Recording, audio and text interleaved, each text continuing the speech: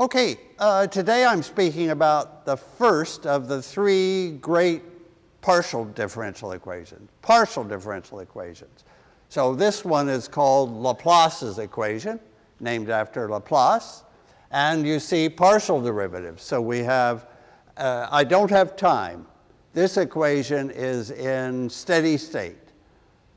I have x and y. I'm in the xy plane, and I have second derivatives in x and in y.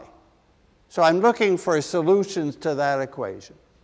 And of course, I'm given some boundary values. So time is not here. The boundary values, the boundary is in the xy plane, maybe a circle. Think about a circle in the xy plane. And on the circle, I know the solution u. So the boundary values around the circle are given and I have to find the temperature U inside the circle. So I know the temperature on the boundary, I let it settle down, and I want to know the temperature inside. And the beauty is it solves that basic partial differential equation. So let's find some solutions. They might not match the boundary values, but we can use them.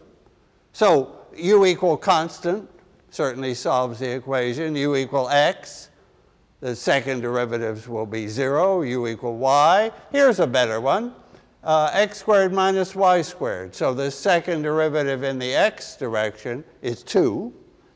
The second derivative in the y direction is minus 2. So I have 2 minus 2. It solves the equation. Or this one, the second derivative in x is 0 second derivative in y is 0. Those are simple solutions. But those are only a few solutions, and we need an infinite sequence because we're going to match initial con uh, boundary conditions. Okay, so is there a pattern here? So this is degree 0, constant. These are degree 1, linear. These are degree 2, quadratic. So I hope for 2 cubic. And then I hope for two fourth degree ones. And that's the pattern. That's the pattern. Let me find, let me spot the, uh, the cubic ones.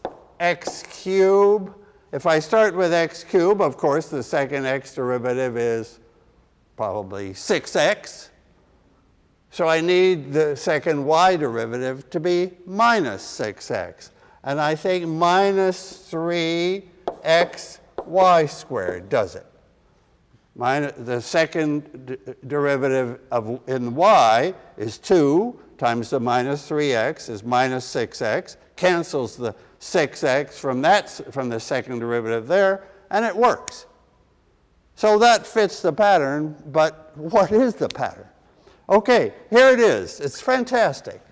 It's I get, I get these crazy polynomials from taking x plus iy to the different powers.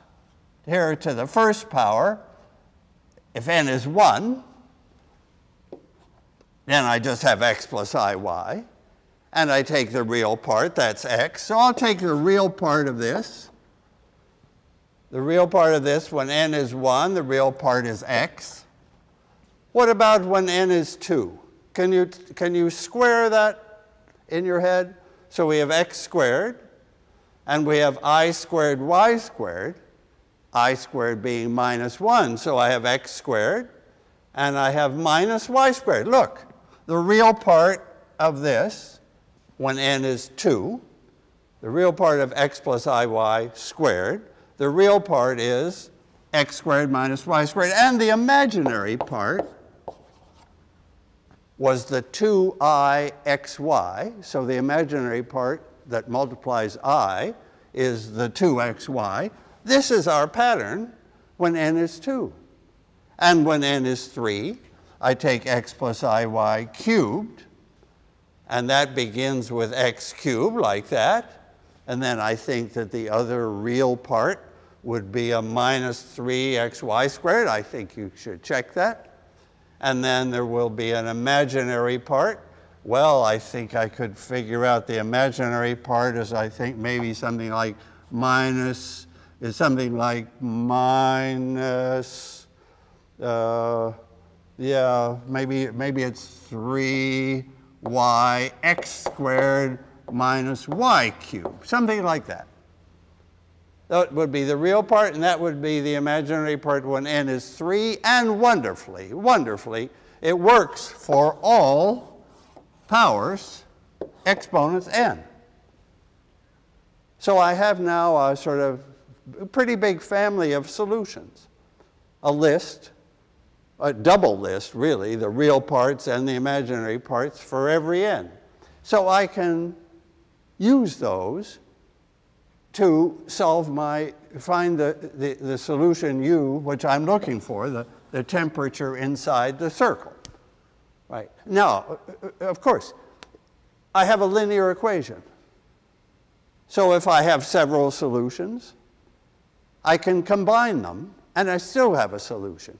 x plus 7y will be a solution. Plus 11x squared minus y squared, no problem. Plus 56 times 2xy. Those are all solutions. So I'm going to find a solution. Uh, uh, uh, my, my final solution, u, will be a combination of this, this, this, this, this, this, this, and all the others for higher n. That's going to be my solution. And I will need that infinite family. See, partial differential equations, we move up to infinite family of solutions instead of just uh, a couple of null solutions. Okay, so let me take an example. Let me take an example. Uh, I'll, I'll uh, my, uh, uh, we're, we're taking the, the region to be a circle. Okay. So in that circle, I'm looking for the solution u of x and y, and actually in a circle it's pretty natural to use polar coordinates.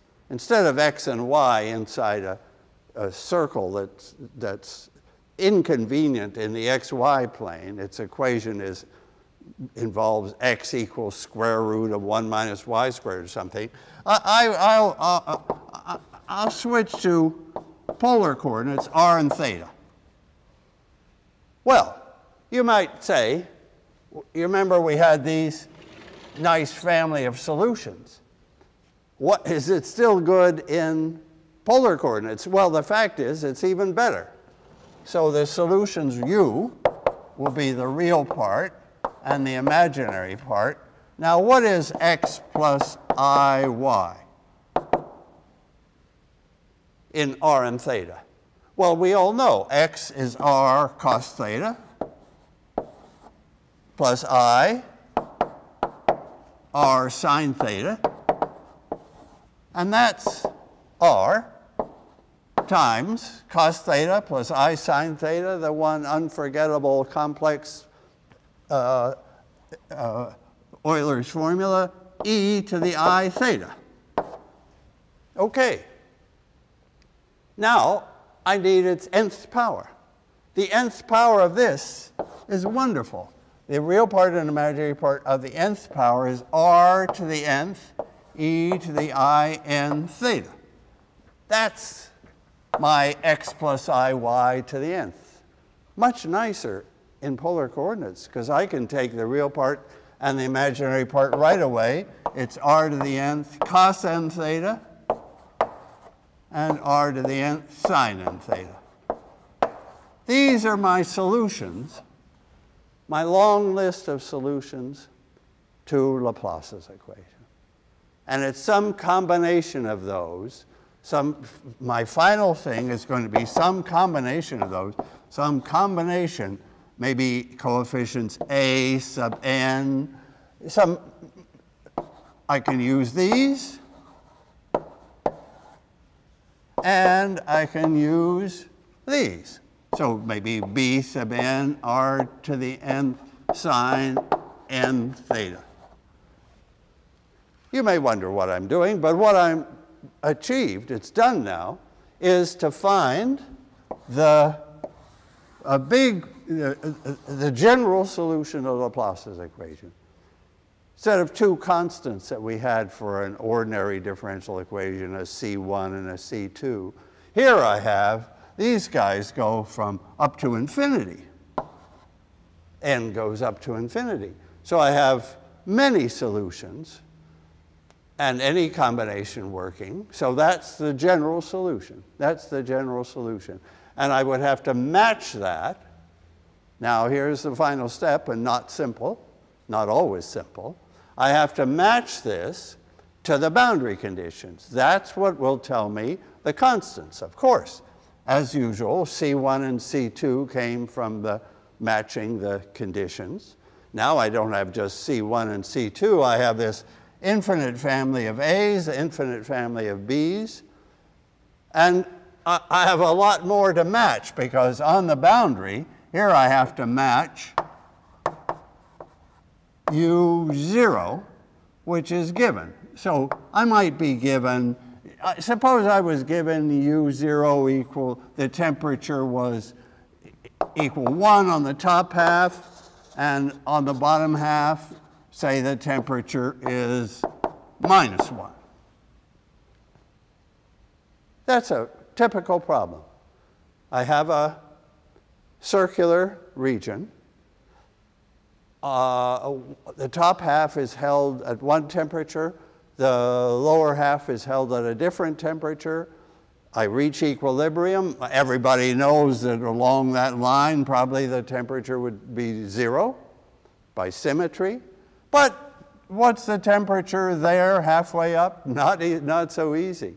Or anywhere in there. Well, the answer is u in the middle, u of r and theta, inside is given by that formula. That formula. And again, the ANs and the BNs come by matching the, getting the right answer on the boundary. Well, there's a big theory there. How do I match these? That's called a Fourier series. That's called a Fourier series. So I'm finding the coefficients for a Fourier series, the A's and B's, that match a function around the boundary. It, and I could match any function, and Fourier series is another entirely separate video. This, we've done the job with Laplace's equation in a circle. We've reduced the problem to a Fourier series problem. We have found the general solution, and then to match it to a specific given boundary value, that's a Fourier series problem. So I'll have to put that off to the Fourier series video. Thank you.